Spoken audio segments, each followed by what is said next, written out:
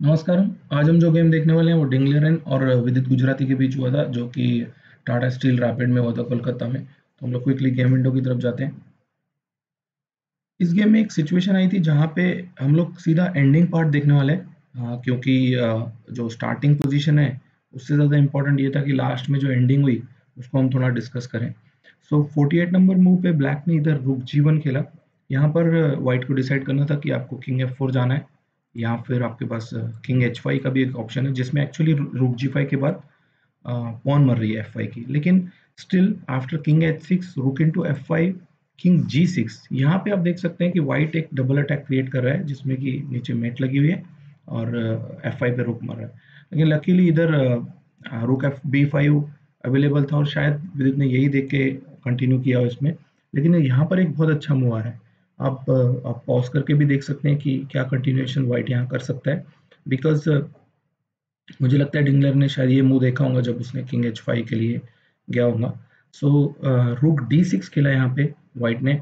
Rook G five check only move था otherwise आप आप रुक डी सिक्स को रुक इंटू डी सिक्स नहीं मार सकते हैं बिकॉज़ रुक एट सीधा मेट हो रहा है। Rook B eight rook D eight दोनों मर जाएँगे और तो definitely after after rook D six rook G five खेला ब्लैक ने वाइट ब्लैक ने। और after king F six rook into D six king G five और एक ये पोजिशन आ गया, जो कि एक एंडिंग का पार्ट है और डेफिनेटली आप देख सकते हैं बी फोर थोड़ा वीक है। After king F eight white के पास एक रूट दिखाने की कोशिश किया है मैंने कि वाइट कैसे इम्प्रोवाइज कर सकता है इस पोजीशन में। So event for king F five king E eight king to E five अभी एक्चुअली रूक डी टू के बाद एक क्लियर बात थी कि आप रूक ए फोर नहीं जा सकते हैं बिकॉज़ रूक ए फोर को कोई पॉइंट नहीं बनता है because you will simply play king D seven और आप कभी भी रुक बी फोर मारोगे तो ए टू मार देगा and then after king C seven ये पोजीशन शायद से होल्ड हो जानी चाहिए। लेकिन इजी ये था कि आप किंग ई फोर आओ रुक डी टू के बाद। किंग ई फोर खेला वाइट ने। King to D eight king D three अभी किंग ई थ्री के बाद वाइट को ये ब्लैक को ये डिसाइड करना है कि आ, आपको डी फ़ाइल छोड़ना पड़ेगा या फिर second rank rook H two खेला बिकॉज़ रुक डी सिक्स में मुझे लगता है रुक ए फोर आ रहा है और रुक बी सिक्स के बाद किंग डी फोर आ रहा है king C seven king C five और डेफिनेटली ये पॉन मरने वाली है, जिसमें दो पॉन पोजिशन वो जीतना चाहिए। लेकिन after king E three white black ने रुक एच टू खेला। King to D four king C eight king to C five king B eight and finally after rook A four एक बात clear है कि फोर का pawn मरने वाला है अभी और दो पॉन के साथ वैसे ये पोजीशन क्लियरली विनिंग होनी चाहिए because after king C seven rook A seven check दिया king B eight rook A five रुक ए फोर वापस खेला।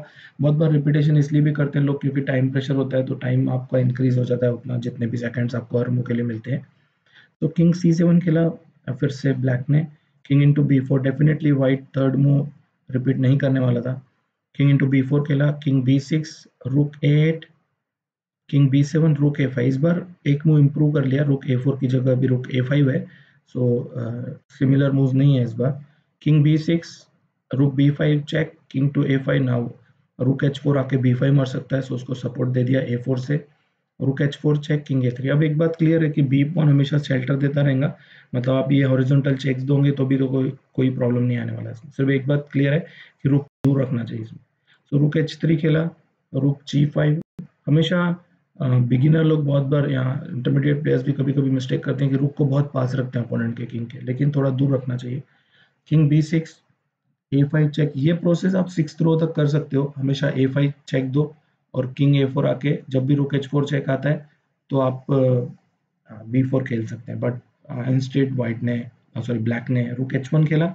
Rook G six check king to B seven A six check king to A seven B four अब आप अगर rook A one check दोगे so definitely king B five available है sorry rook A five नहीं खेल सकते king B five खेल सकते हैं इधर, और डेफिनेटली इस पोजीशन में भी वाइट बाद में रुक जी सेवन आके विन हो जाएगा।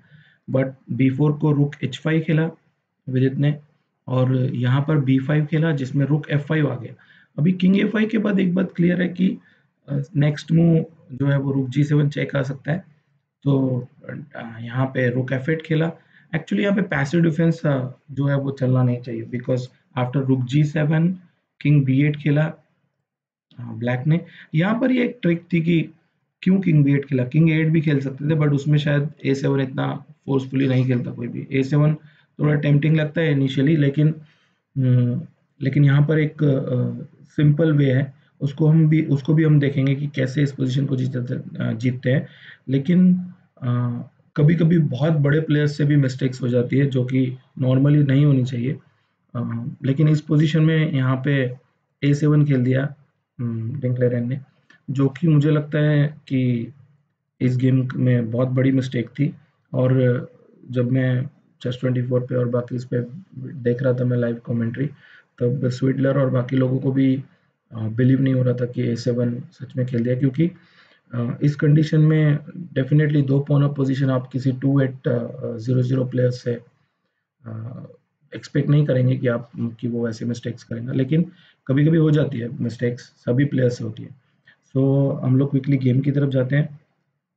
इस पोजीशन में आप देख सकते हैं कि after A seven king eight आ गया ब्लैक बी सिक्स खेला rook F five king A six और यहाँ तक आते आते डिंगलिन को ये रियलाइज़ हो गया था, जैसे ही जैसे ही उसने बी सिक्स खेला था, कि बहुत बड़ी मिस्टेक हो गई है ए सेवन पे और definitely after rook A five king A five यहाँ पर दोनों ने बहुत ही अच्छा बिहेव किया था मतलब बहुत ज़्यादा एक्साइटमेंट नहीं थी। इवन विदित के फेस पे भी इतनी एक्साइटमेंट नहीं थी कि कैसे वो एकदम से लूजिंग पोजीशन में से वापस आ गया बिकॉज़ ऑफ़ ए सेवन लेकिन यहाँ पर शायद ये ये जो है वीडियो ख़त्म नहीं होना चाहिए और हमको इसको देखना चाहिए कि कैसे उसको जीतते हैं।